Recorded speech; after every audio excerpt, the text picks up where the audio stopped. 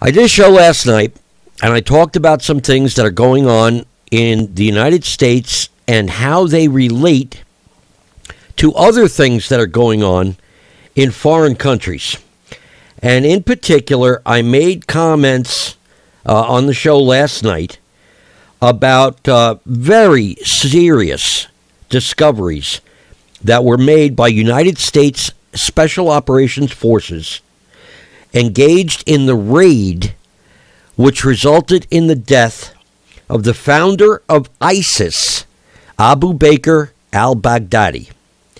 And uh, apparently, quite a number of you were taken back by some of the things I said, and you you know you went out and you researched a little bit, and I had numerous requests to cover the topic again tonight because people who may not have been able to hear this startling, stunning, terrifying information, um, you know, via WBCQ, will now certainly be able to hear it thanks to the fact that, you know, we're also on WRMI. And that has to do with the way uh, the antennas are aimed by these high powered shortwave radio stations. WBCQ is up in northern Maine, right on the border of Canada and their antenna is aimed toward Mexico City. says 50,000 watts coming out of Maine, headed toward Mexico City. So if you can follow that, like on a you know on a 45 degree angle, that gets very much of the center and southwestern United States while the signal is on its way to Mexico. Gets all of Mexico. And then it goes out into the Pacific Ocean and it gets out by uh, Tonga and sometimes Australia and New Zealand. But WRMI is located down by Lake Okeechobee in Florida. And they have a 100,000 watt transmitter, and the antenna is aimed north toward Toronto, Ontario, Canada. Because WRMI is twice as powerful, and because the uh, radiation angle of their antenna is a little wider, everybody in all 48 contiguous United States can hear WRMI on 9455. In fact, everyone in Canada, every square inch of Canada can hear WRMI, and the folks in eastern Alaska can hear WRMI. I've gotten emails from military troops and scientists up at the North Pole tune into this show, right? From listening on WRMI. So that's kind of cool. And then, of course, folks in uh, Utah listening on KYAH, that's regular AM radio. They can be trucking around in their cars or their pickup trucks or sitting at home and they can, you know, listen to it on regular radio. So there's a lot of coverage. But thanks to this being Wednesday night and WRMI uh, carrying the Wednesday night show, um, a lot more people be able to hear this material tonight. And it is it is stunning. It, it is stunning. So let me get right down to it uh, because I, I don't want to spend too much of the show tonight doing what I did on the show last night.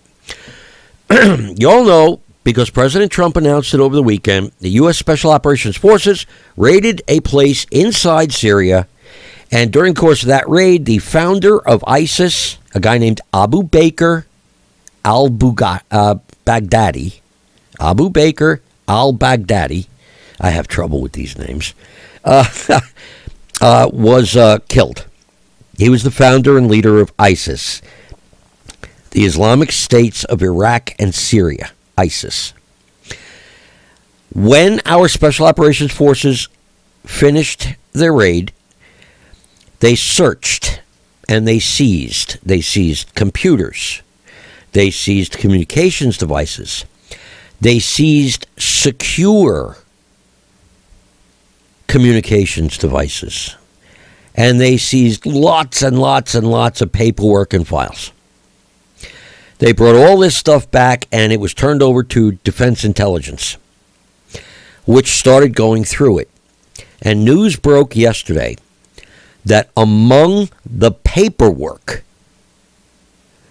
seized in the raid at uh, al Baghdadi's compound were diplomatic cables between al Baghdadi and the U.S. State Department.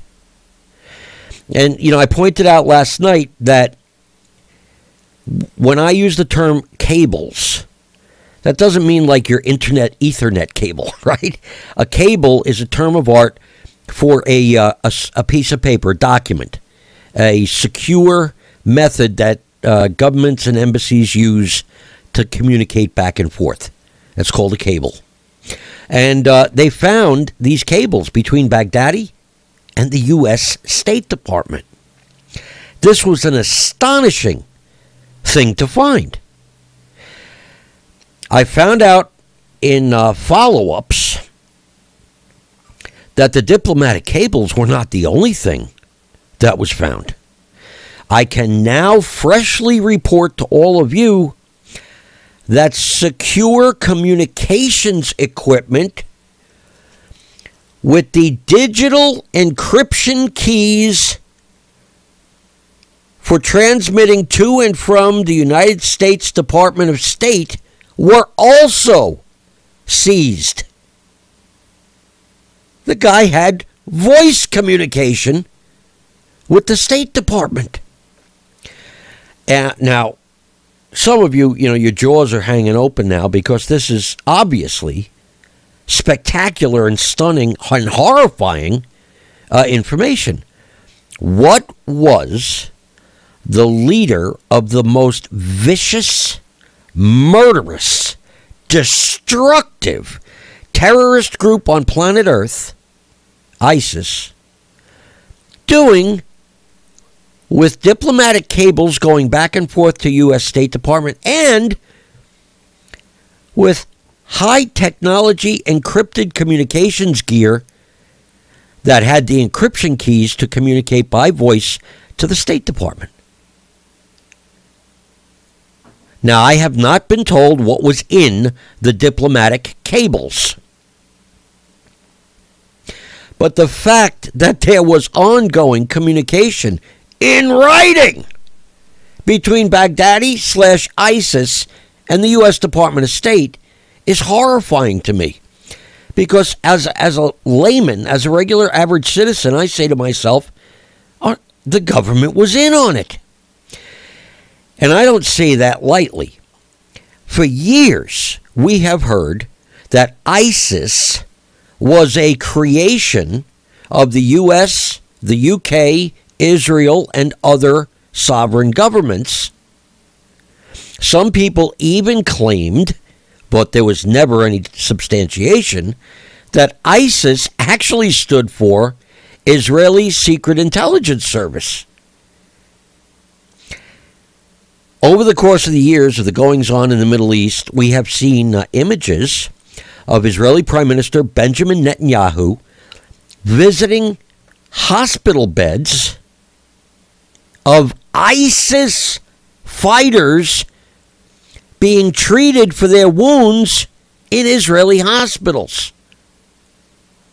Why would the Prime Minister of Israel visit the hospital room of an ISIS fighter? And then, you know, we also have um, uh, the fact that when ISIS camps were uh, destroyed, conquered, uh, you know, through firefights and stuff, inside those camps were, you know, food from like Turkey and Saudi Arabia, bandages and medical gear from places like Bahrain or Qatar, uh, and then weapons, much of it U.S. made. So there's a lot of ancillary stuff that was going on, which led many people to think the government is involved. Now there's proof. Diplomatic cables in the compound of ISIS leader. And now secure communications equipment between his compound and the U.S. State Department. ISIS came into existence solely during the administration of U.S. President Barack Obama.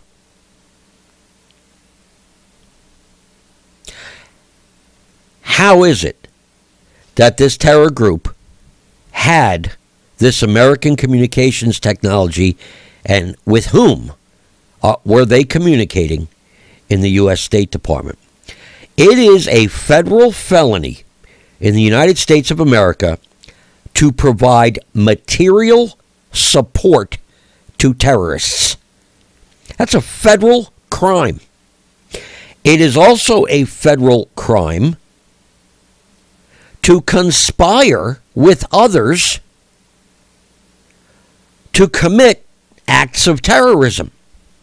It is also a federal crime if, through the conspiracy, people get murdered.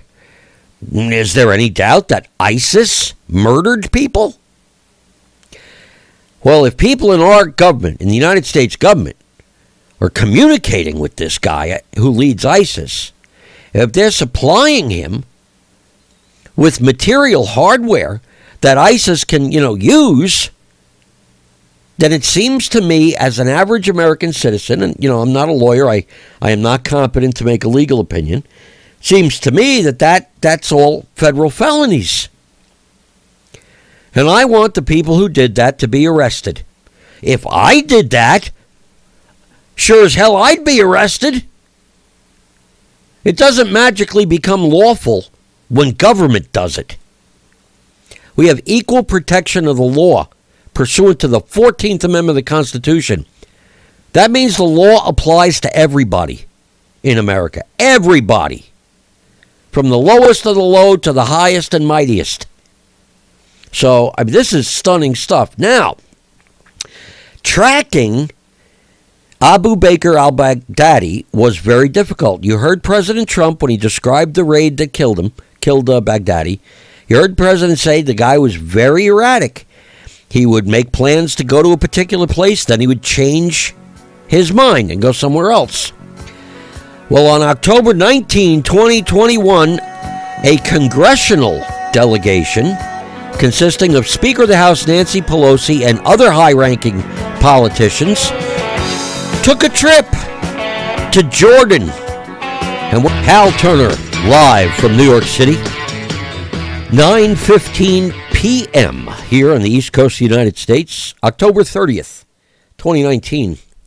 So, uh, a congressional delegation traveled from the United States to Jordan on or about October 19th, and they were overseas, you know, the 19th, 20th, 21st, etc.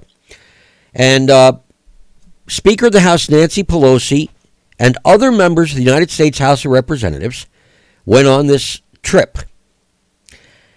Why would the Speaker of the House take a trip to Jordan? Well, you know, we were told uh, they were talking to people about this and that. But Jordan borders Syria. And during the last couple of years, uh, well, more than a couple, during the last you know decade, when a lot of these troubles in Syria began, Syria became a hub for illicit narcotics production and distribution. When President Trump ordered U.S. military troops to leave Syria, a lot of people realized that they would no longer be able to be making illicit profits from the illicit drug trade taking place in Syria. And there has been speculation, only speculation, that Speaker of the House Nancy Pelosi might be a person getting her beak wet with uh, some of that illicit drug money. Now, nobody's ever provided any proof, but there's been speculation. And one wonders why Speaker Pelosi chose to travel to the country right next door to Syria about a week after President Trump ordered U.S. troops to withdraw. After, after Jordan, the congressional delegation well, either before or after Jordan, the congressional delegation also traveled to Afghanistan. And that fits with this whole drug theme because Afghanistan is the world's largest exporter of poppies. from which opium is derived. And from opium is where we, the world gets its illegal heroin. So it was interesting that Speaker Pelosi, of all the places on earth she chose to go, she chose to go to Jordan, right next to Syria, and she chose to go to Afghanistan. Both countries, hubs for international narcotics trafficking. According to some of my former colleagues from my years with the FBI Joint Terrorism Task Force, either Abu Bakr al Baghdadi himself or an emissary of his allegedly met with Pelosi's delegation while they were overseas. Now, President Trump, when describing the raid that killed al Baghdadi, said that they had uh, information as to his actual location. Well, the intelligence colleagues that I worked with for years tell me, they haven't provided proof, but they tell me that Pelosi and the congressional delegation were under surveillance by the intelligence community while they were overseas. And during this surveillance, either Baghdadi or his emissary was seen meeting with members of the congressional delegation. That person was followed back to Baghdadi's compound. And that was how it was confirmed as to this man's location. Now, ladies and gentlemen, why would the Speaker of the House of Representatives meet with al Baghdadi or al Baghdadi's emissary? What the hell is going on here with the people in our U.S. government. And these are some of the same people, mind you, that are trying to illegitimately impeach our President Donald Trump. It came out last week from the Russian government, which released satellite photos showing that U.S. troops and U.S. private military contractors have been stealing millions of dollars worth of oil from the oil fields in northeast Syria.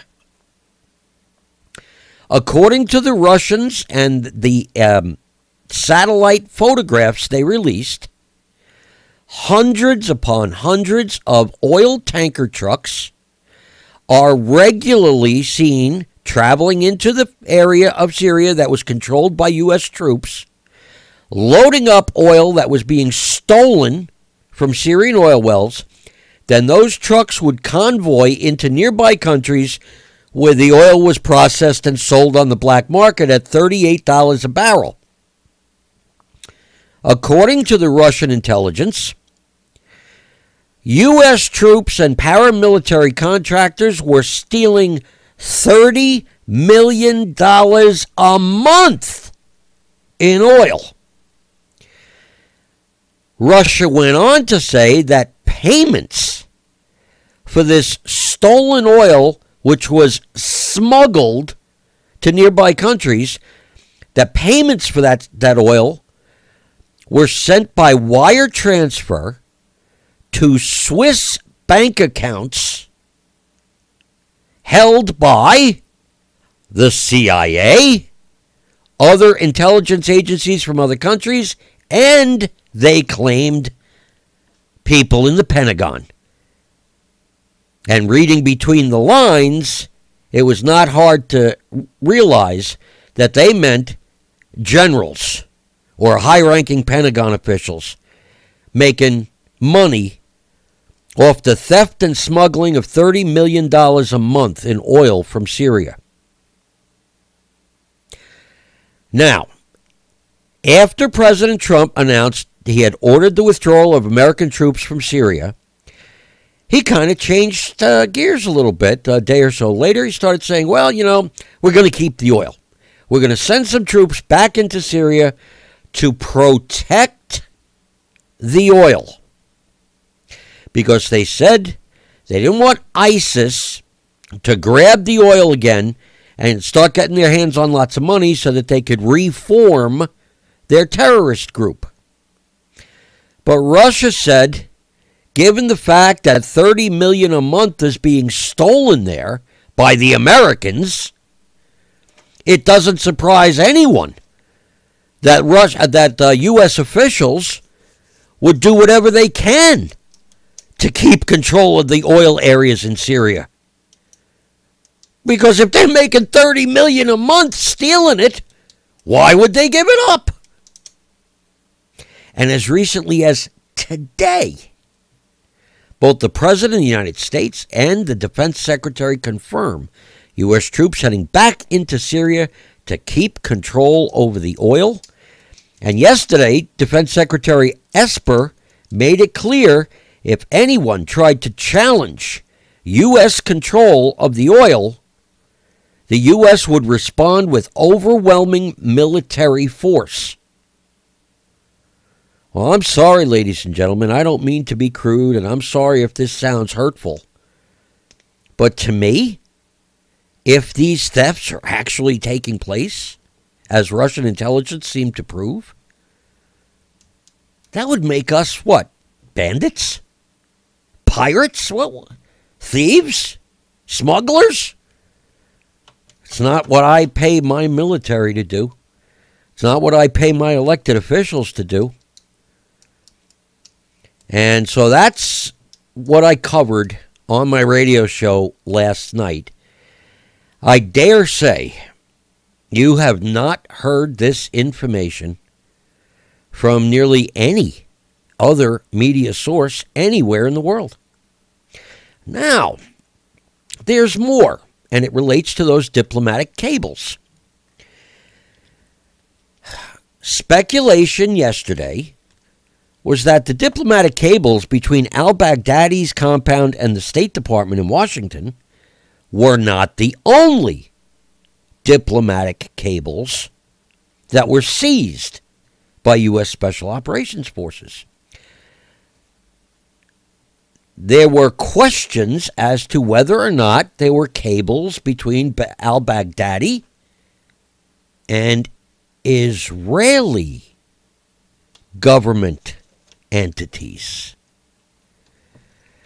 Lo and behold, yesterday, while all this stuff was starting to break, Israel announced that they were closing all of their embassies worldwide effective today.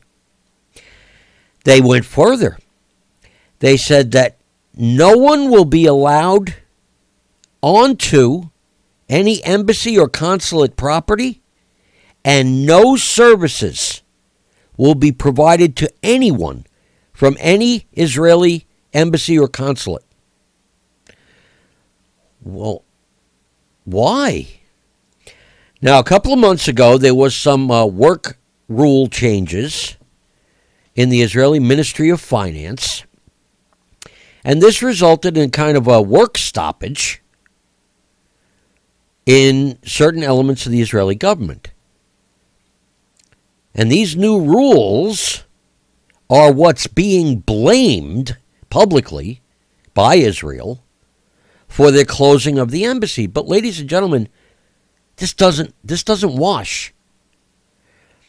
The only reason countries close embassies is they're going to war with somebody, right? And they close the embassies and consulates in that country.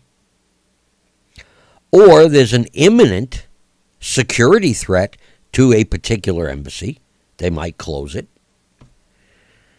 But never, and I mean never, does a country close its embassies worldwide over a budget issue. Because we've got budget issues here in the United States all the time.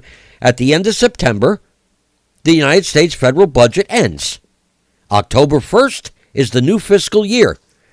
Well, if the Congress of the United States hasn't increased the debt limit or hasn't voted to approve a budget, then technically nobody can get paid. But we don't close our embassies. Our diplomatic people don't go home. They just keep working because everybody knows that once the paperwork gets done, they'll get paid anyway. So, why is it that on the very day information started coming out that diplomatic cables were seized from Abu Bakr al Baghdadi's compound in Syria, that the Israeli government closed all their embassies worldwide.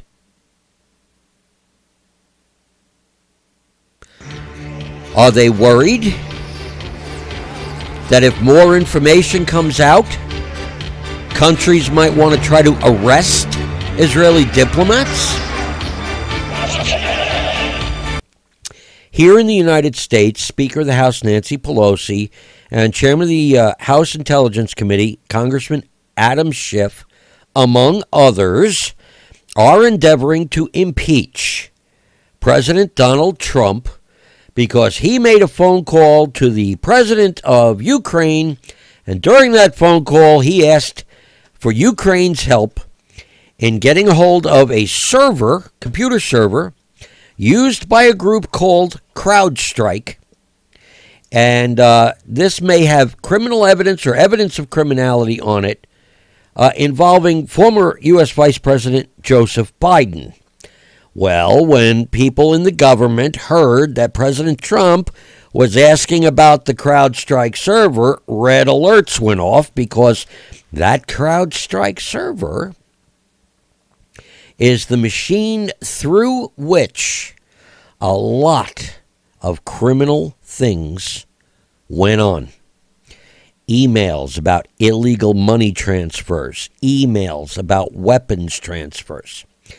And the people in government who blew the whistle on this know to an absolute certainty that if the Trump administration is successful in getting its hands on that CrowdStrike server, which incidentally is in the hands of a Ukrainian oligarch, then a lot of people here in the United States are going to go to prison because that server's got the evidence. And the guy in Ukraine who has the server will not destroy it because he wants to hold that information over people's heads for his own benefit. So the server exists, it has not been destroyed, and it is being sought by U.S. law enforcement. The United States of America has a mutual legal assistance treaty with Ukraine. It is perfectly lawful and proper for a U.S. president to ask the president of Ukraine for law enforcement cooperation under that treaty. President Trump didn't do anything wrong. But right away, folks in the government who hate Trump or love Joe Biden politicized it and said, well, Trump's trying to get information on his political opponent for 2020. The election in 2020. Well, sorry, there isn't an election in 2020. There's no ballots uh, been printed. No petitions have been filed. No candidate has been selected. The president's just doing his job. They don't want him to do his job because if he does his job, a lot of people in the body politic here in America are going to go to prison.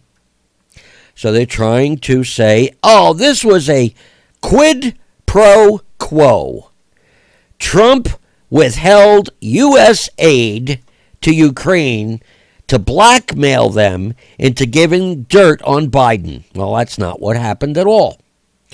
But it's very interesting that the Democrats be the ones to talk about threatening to withhold U.S. money unless a foreign country does something. Because, ladies and gentlemen, nine days ago,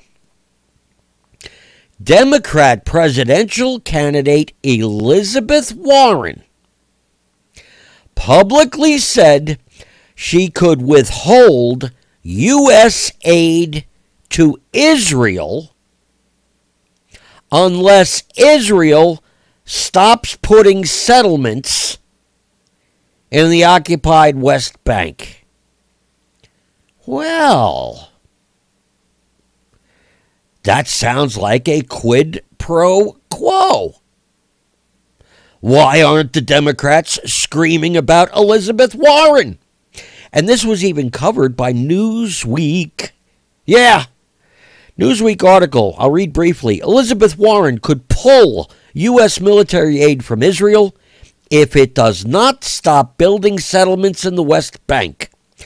The Democratic 2020 primary candidate, who has taken a lead in recent polls, told The Hill, quote, everything is on the table should she become president and Israel continues building settlements in the West Bank. Well, there you have it. A quid pro quo. Do what Elizabeth Warren wants, or she will withhold U.S. aid if she's elected president. Why is it okay for Elizabeth Warren to do that, but it is not okay for President Trump to do it? Well, it is okay. What the hell do they think we provide foreign aid for? To have power over the recipient. You want a simpler analogy? Mousetraps. Yeah. Mousetraps work because the mice don't understand why the food is free. Snap! That's why America provides money to foreign countries, so we can hold it over their head to get them to do what we want. Duh! And for this reason, ladies and gentlemen, the entire, and I mean the entire, impeachment effort being undertaken by Democrats in the House of Representatives is illegitimate. This is an attempt to usurp the votes of 62 million Americans just like me who voted for Donald Trump. This is an attempt at usurpation. And it is being done contrary to the requirements of the U.S. Constitution. U.S. Constitution says president can be impeached, quote, for high crimes and misdemeanors, unquote. What crime do the Democrats allege took place? Well, the short answer, they don't. They're not alleging a crime took place. Yeah, it's real simple. If there's no crime, there's no impeachment. That's the way it is. It's been that way for 240 some odd years, and that's the way it's going to stay. And, ladies and gentlemen, if the Democrats go ahead with this impeachment without any high crime or misdemeanor, they are trying to invalidate your vote. That, ladies and gentlemen, is tyranny. And the founding fathers of these United States gave American citizens the Second Amendment so that they could maintain a free state, a state of freedom, to be free from tyranny. So if Congress becomes tyrannical and tries to nullify our freely cast ballots and throw out our president without legitimate cause, then that in and of itself is tyranny worthy of being confronted. And I dare say there are a lot of Americans who have expressed to me their feeling or their feelings that are in agreement with my analysis. Now, I don't want to see a civil war here in these United States. Definitely do not. Um, civil war would be horrible. Uh, I, I think it probably will not be necessary. I don't think it would be proper. I don't think we should do it. I don't think any of you should do it. And let me say emphatically, I, me personally, have absolutely no plans or intentions at all to initiate any kind of criminal action or civil war or insurrection. I will not initiate it. Uh, but uh, that said, there are people who do not share my view. And so I guess we'll see how things play out, but I have a sense that we are living real history right now. Real history. I the, take uh, things from various sources, so just listen to this as well as uh, confirmation of what you've just heard. You there? Yeah, I'm here. Can you hear me? Yeah, I can. Sure. Okay. Okay. Awesome. All right, so let's get to the real meat and potatoes here. The title of this scope is uh, Benghazi question mark, Baghdadi question mark, holy fook. So this morning I got a phone call from Director Mike, and Director Mike says, "Are you sitting down? Because you're not gonna believe what I'm about to tell you." So uh, I'm gonna let Mike tell you guys the same thing that he told me. So why don't you pick it up right there, Director Mike? Well, first thing I said was you need to get some Black Rifle Beyond Black coffee. That's true. That's true. I don't know that they can. Yeah, you can get it.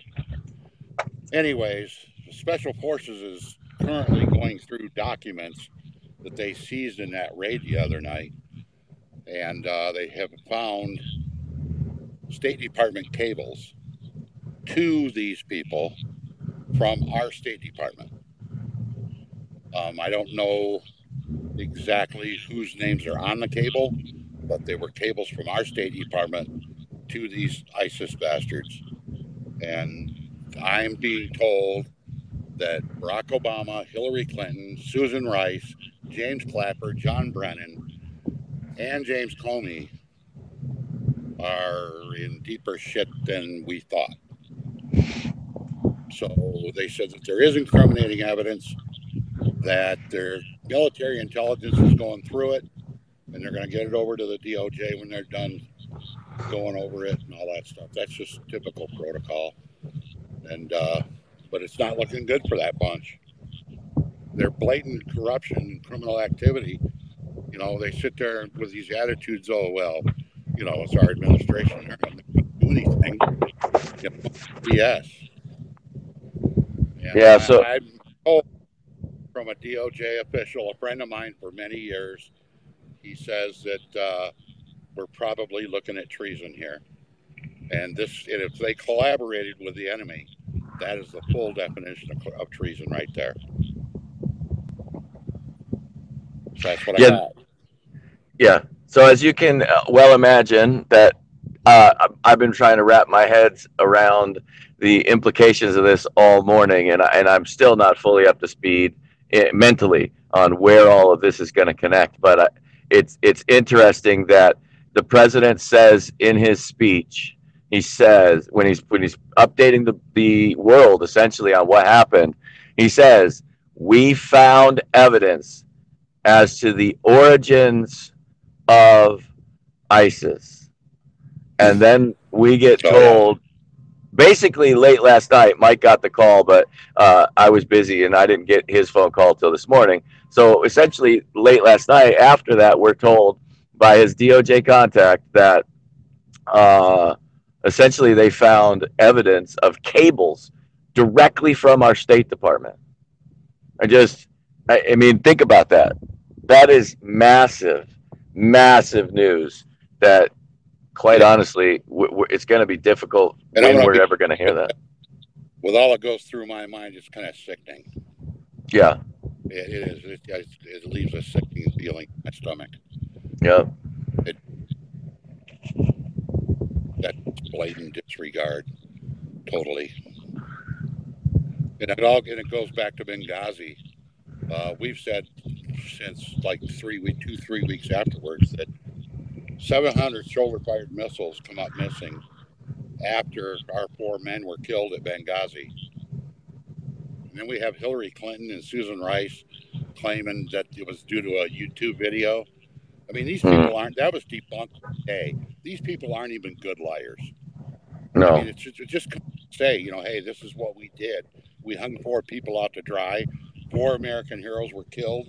And uh, by the way, 700 shoulder-fired missiles left, and uh, they were found in the hands of, hands of uh, ISIS in Syria. Two weeks later, yeah. this whole thing stinks. It, it stinks. Stinks to the high heaven, that's for sure. That is It- it- absolutely for sure. It's disgusting. Mm. Yeah, it, it, it really is. It- this is a difficult one here because, yes, we are. I want to be clear because, uh, uh, and again, I know that's my idiom, but the people in the chat are asking. So, yes, we are specifically directly saying that what we are being told is when our military men took over that compound, they not they found cash, they found weapons, they found cables directly from our State Department. And currently, as boxes of documents, boxes of documents that they got. They carried their entire their entire system. They carried it with them. Not to mention the laptops they stole. They got out of there. Mm. And those got to be gone over forensically yet. So there's a way. There's a long road here, but at the same time, I, I'm I'm just disgusted by it. Yeah, so we're we're directly saying our military intelligence is currently processing all of the evidence gathered from the compound. That's where it's currently at. We currently have DOJ people that have already are on the ground looking at this stuff as well, but they can't take possession yet because there's protocol. So right now the military's in charge. That will or may change relatively quickly. Uh, but that's government terms relatively quickly. It's Right. not going to happen Right. fast because it, not the speed that we're used to. We're, we are the internet generation. We expect it to happen next week. It's not going to happen next week. Yeah, But- It's it will happen because they've already put DOJ officials on the ground to make sure that they are in touch with what's going on due to John Durham's investigation. Anything that may influence or affect anything he's working on, he needs to know about. So that's why they're putting early eyes on this stuff to try to make sure that everybody understands what what's there. What what did they just find? So uh, it's not going to slow up what's going on. I'm being I'm being as clear as I can be about this. John Durham's working his ass off. They they just have eyeballs on it right now in Yeah. order to know if there's anything over there that needs to be fast tracked to John Durham. That's Right. what I'm saying. So and they may, that's why.